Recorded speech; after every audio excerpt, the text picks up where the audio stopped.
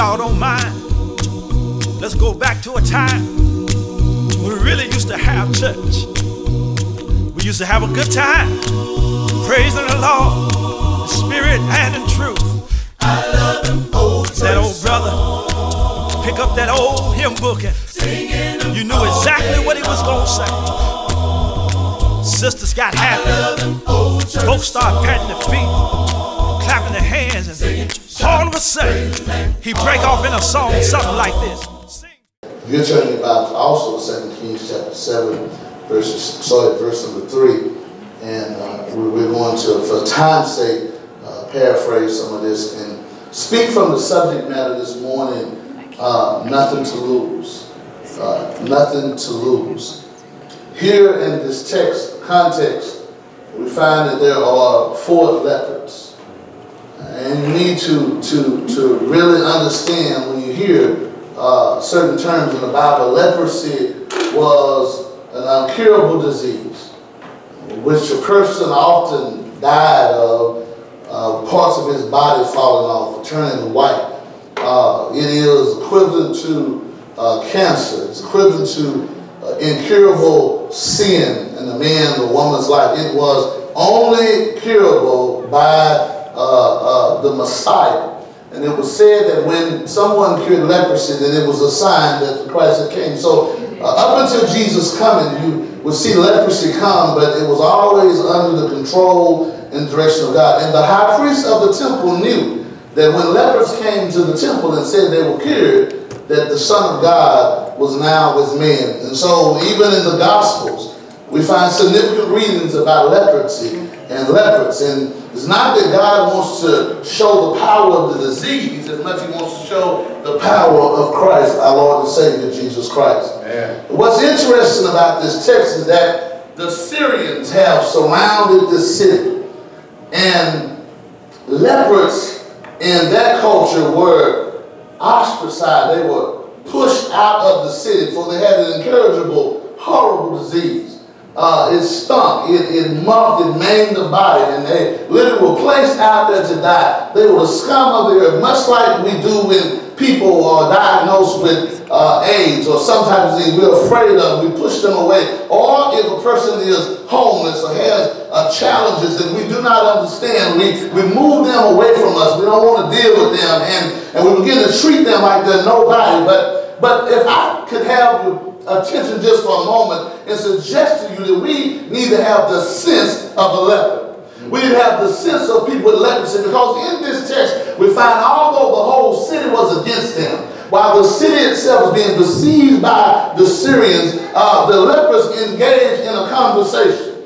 They say to themselves that, that now we're outside the city. Uh, there's great famine uh, in the city. There is no food. Why? Because there is a military blockade and there is no food coming in and coming out. The enemy wanted to starve the city to death. And who's going to feed a leopard? The scum of the earth. And they're standing outside and they said, we go back in the city, we're going to die because nobody cares for us. Y'all I say amen. If we, if we go back in the city, we'll die. And if we go out to the to the to the Syrians, uh, uh, they may help us or they may kill us. Uh, but if we sit here, we sure enough gonna die. Y'all I say amen. Uh, and I, I stop by to tell you that, that some of us right now, we're in financial situations, we're in social situations that you can't, you got to make a decision. If, you, if you stay where you are, things are not going to get better. Y'all say amen. Uh, if, if you go back to where you came from, how many of y'all go back to where you came from?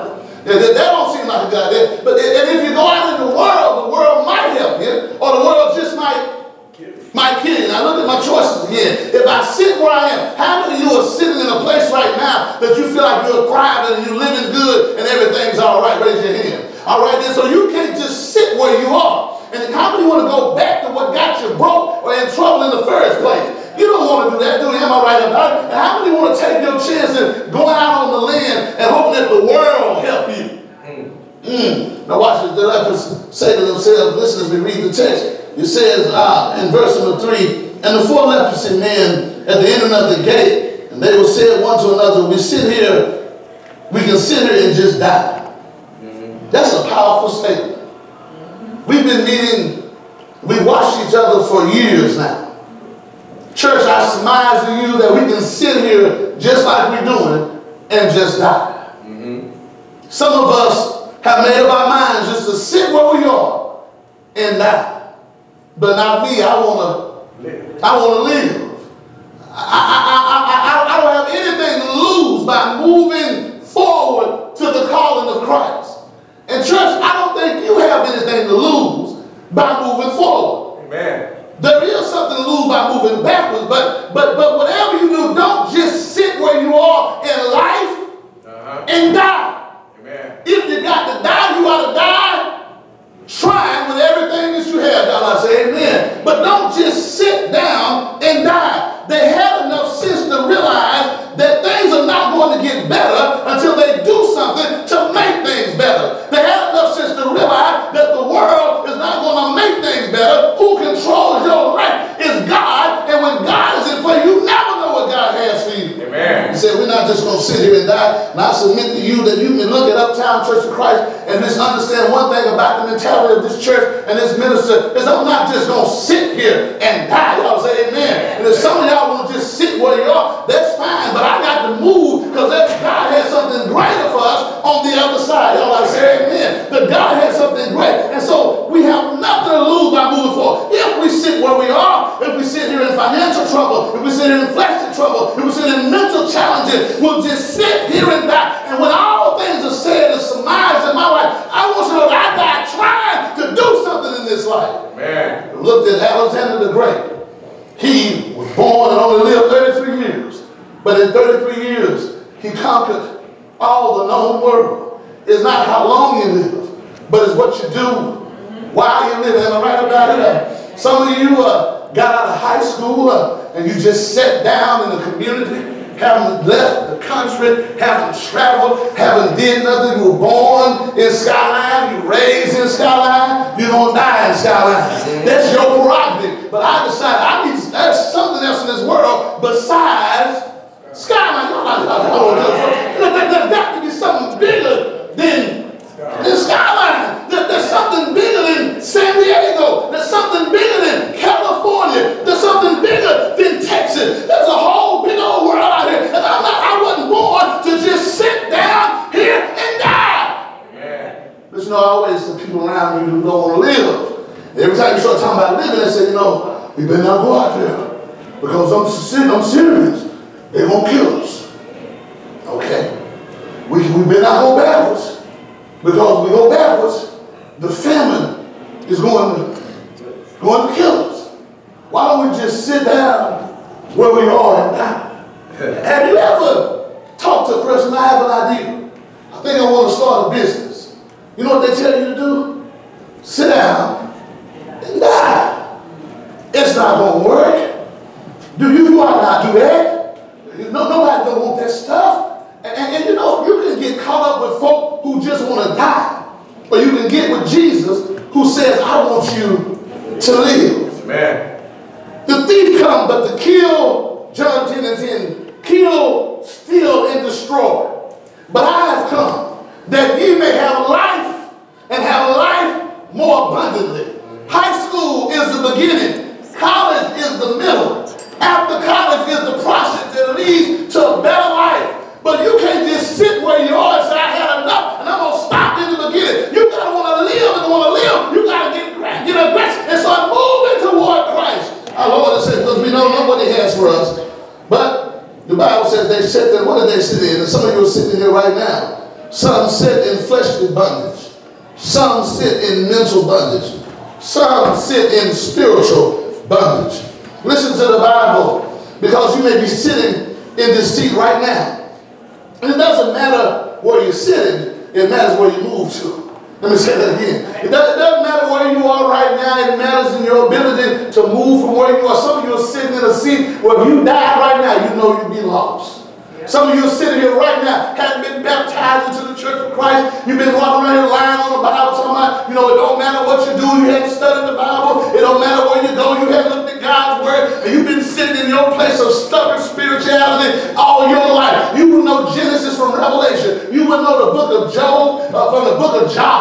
But you've already talked about God this, God that, and have not given God time. And you can sit there all you want to. You can sit there say, I'm going to do what I want to, how But how long you been sitting there? Mm-hmm. What's the problem? Because there is mental bondage, there is spiritual bondage, there is fleshly bondage. And the Bible says in 2 Timothy chapter 2 and verse 26, and they that they may recover themselves out of the snare of the devil who are taken captive by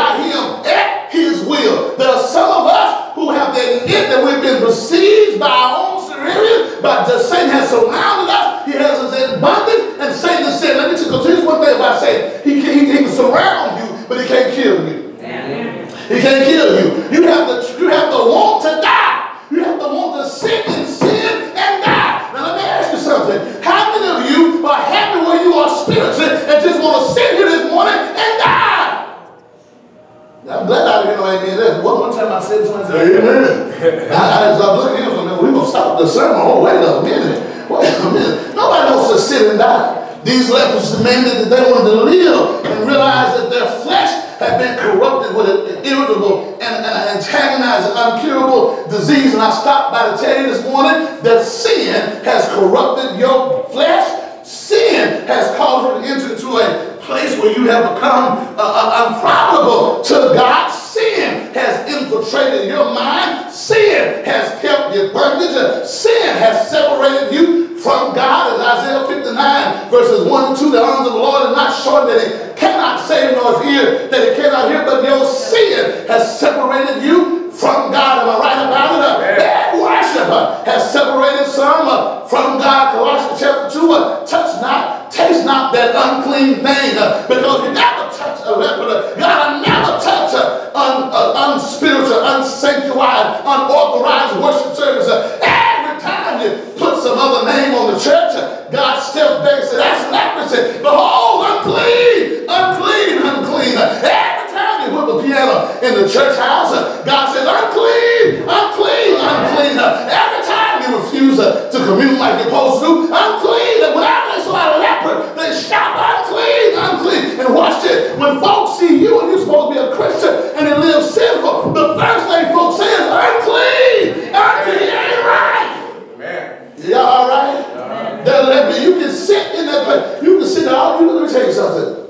The enemy will surround you with who they think you are. And you can sit there and complain about folk talking about you. You can complain about mistakes you made. How many of you made some mistakes? How many done some stuff? You can sit there right now and get mad and drop your head and say, you know, the church folk don't like me. People out in the world don't like me. My mom and dad don't understand me. You can sit there and die if you want to. But what you got to lose Mm-hmm. if you start looking for Christ? Amen. But what if you move from folk that's talking about you and then give them power in what they're talking about? What if you accept the fact that you're not perfect?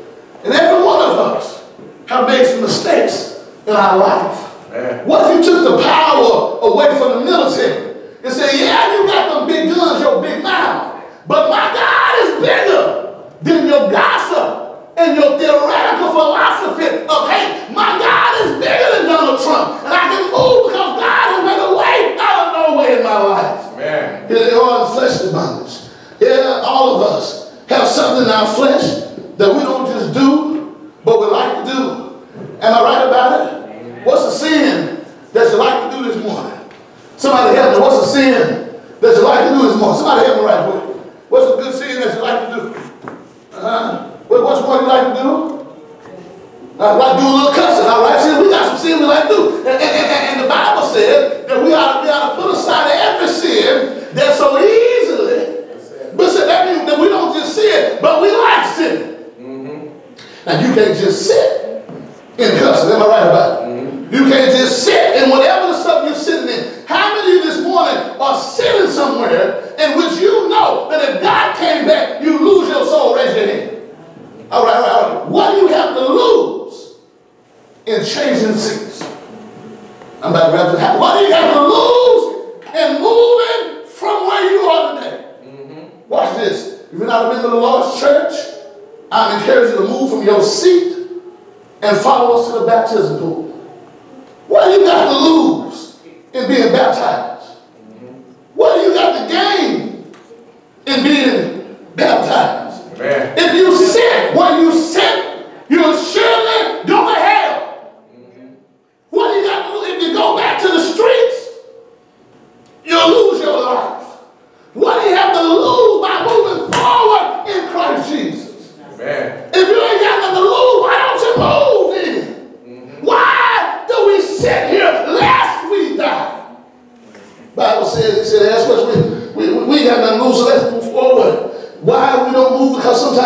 mentally constrained.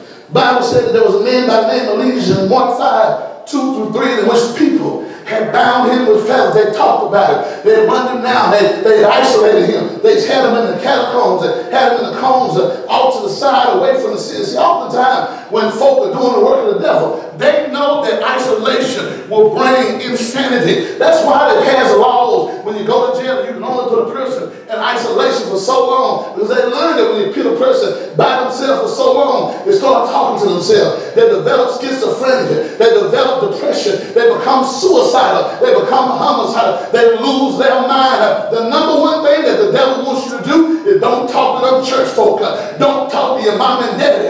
Don't go around friends that love you. Get somewhere by yourself and go crazy. Am I right about it? Thing the devil to do, I don't crazy. Mm-hmm. Y'all look like not. You know, I don't really like people. How you, how you, how you not like people? And you born in the world surrounded by people. God made us to like people. Yeah, y'all don't know that, did you? God, God, God, God, God, God, every one of us crave fellowship. From the time that we're born, we reach for our mother. If a mother does not caress hold and love a child, that child could die from the absence of the love of their mother. It is important that you understand that love and embrace and human kindness and fellowship is a powerful thing to your development as a person. And when you decide that you want to stop talking to everybody, stop dealing with everybody, a part of you die right where you are. Mm-hmm. We become mentally incompetent. But Jesus came, was you glad this morning? That Jesus came to the tombs in which men had driven him.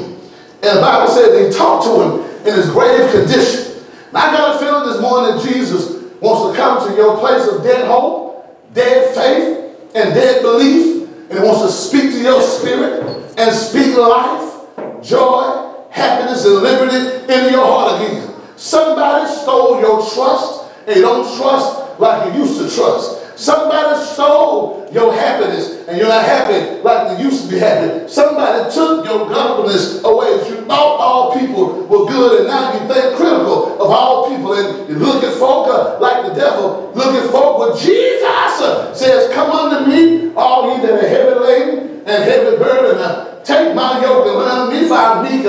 I'm low at heart, and ye shall find rest for your soul. Matthew 11 and verse number 29. Jesus wants to stop at the place of deadness in your life. But he said, listen, I'm over here. And in order to get the word, you got to come to me. Mm-hmm. You can't sit where you are in anger and scornfulness and have a relationship with me. Come on to me. Amen. You got to move from where you are. If you want salvation, you got to move from the deadness of spirituality in your life. Mm-hmm. How many want to be saved this morning? Man. They desire to be saved. They talked and they quantified. They identified options and choices. And they came up with, it's time to start moving. They realized that couldn't go by uh, everything uh, that they heard other folks say. All they knew was that there's possible food in the endless camp. Mm-hmm. I want you to know that it's a sad thing in your life uh, when you start to resort to welfare and food stamps from the world to survive. I'm right about it. Now, don't get me wrong. Uh, I like some, what's this thing? Of course, called? I like some uh, some EBT myself. Amen. Amen. I, I, I don't mind y'all. I say amen. You do old bougie Christians. I like some EBT, but I don't want, I don't depend on EBT. I depend on JES. U.S. I say amen. And I know once I got Jesus, it won't be long after learn about the EBT. Amen. It's a scary thing when generation after generation are raised counting on EBT. God says, in this bondage, you disqualified your relationship with me because you seem to think that the Syrians are going to feed you. Mm. And in this text, you'll find that God took the enemy's food and fed it to the lepers. Y'all all right? mm-hmm. It may look like the dope dealers, it may look like the government, it may look like dishonesty is a way to prosper in the world. But when you move to where Christ moves you to, Christ will take the enemy's food and bless his children with it. Amen. You eat the dope dealer's steak. You'll drive the dope dealer's car. Mm-hmm. And God will make him give it to you. Mm-hmm. They, they- they- they- they don't believe in it. Everything you see, if you move toward Jesus, the things you desire in life are only possible, long lasting, through Christ. Mm-hmm. And the question is, what do you have to lose in finding out if Christ can provide for you?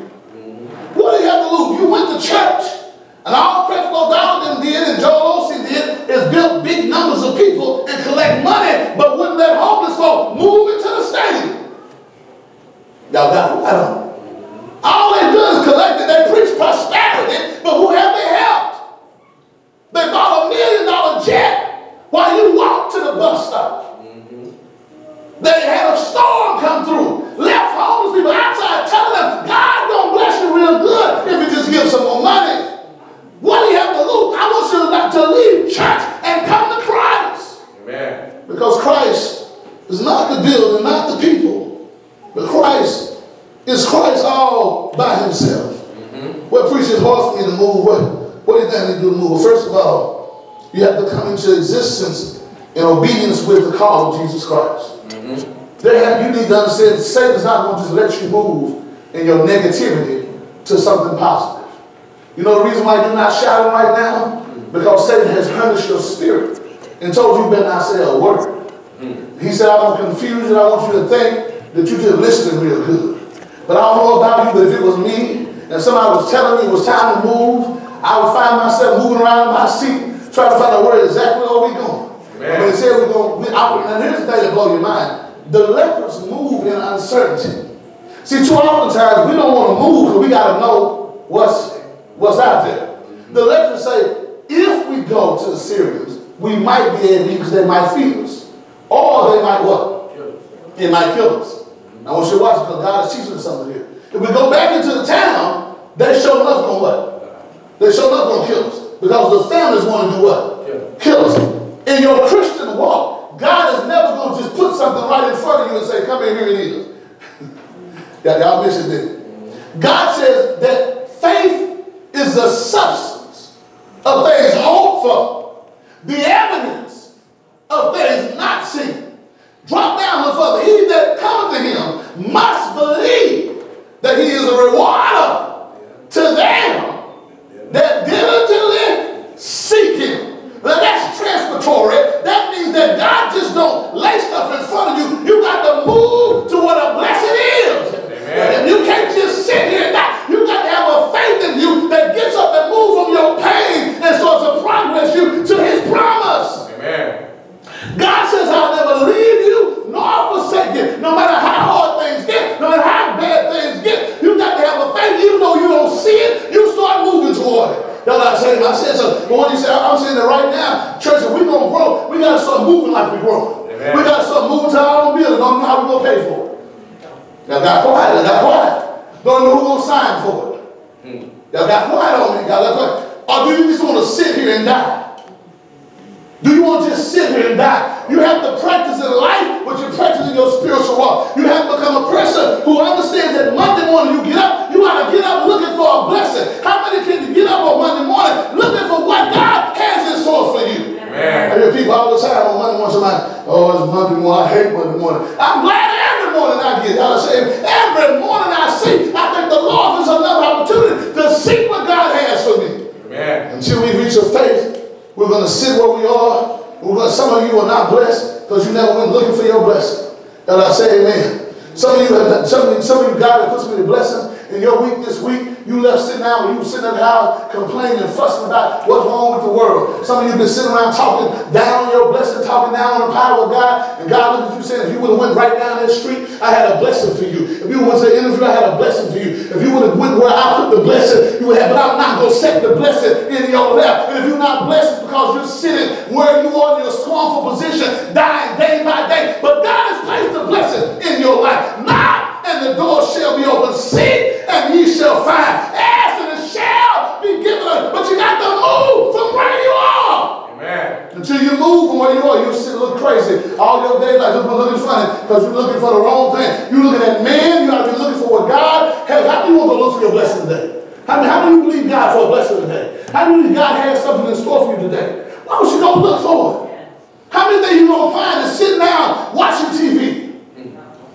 How many things you gonna find is sitting around fussing at folk all the time? How many things you gonna find is mad and upset like God not able? You ought to be smiling even with your leprosy, knowing that God is able to do far and above we never think of ask of him. Yeah. Well, Paul put it this way, Philippians 3, verse number 14. I press toward the high mark, the high calling of God. The word press is a military word that literally means if he has a wrestle to get to it, I get to it. Amen. Sometimes you got to interview, if you got to catch a bus ride, a skateboard, and slide down a muddy hill, you need to get to that interview. If you remember in a movie called, uh, uh, uh, uh, what was it, the, the Pursuit of Happiness, Will Smith uh, is trying to get to his interview.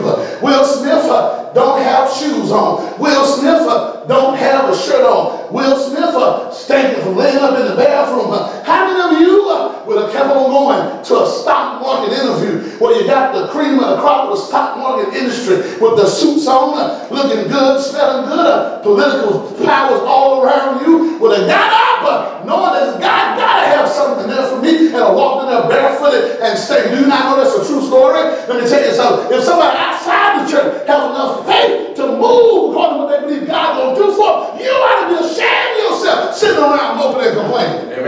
You can sit here and die. What do you have to lose?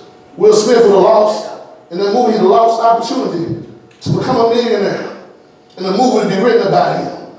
If Michael Jordan would have stopped and sat down, his high school coach told him, there's nothing funny in basketball.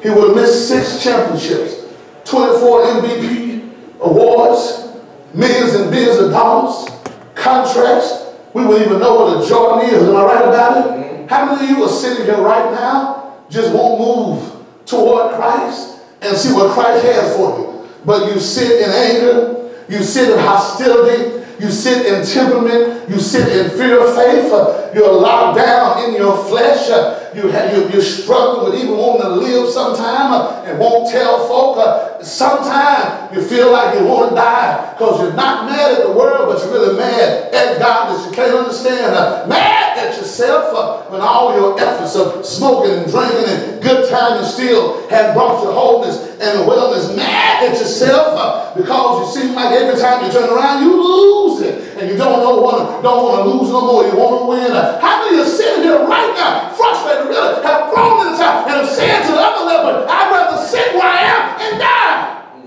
But for those of you who want to live, remember the words of our Lord and Savior through his through his man servant. The Bible says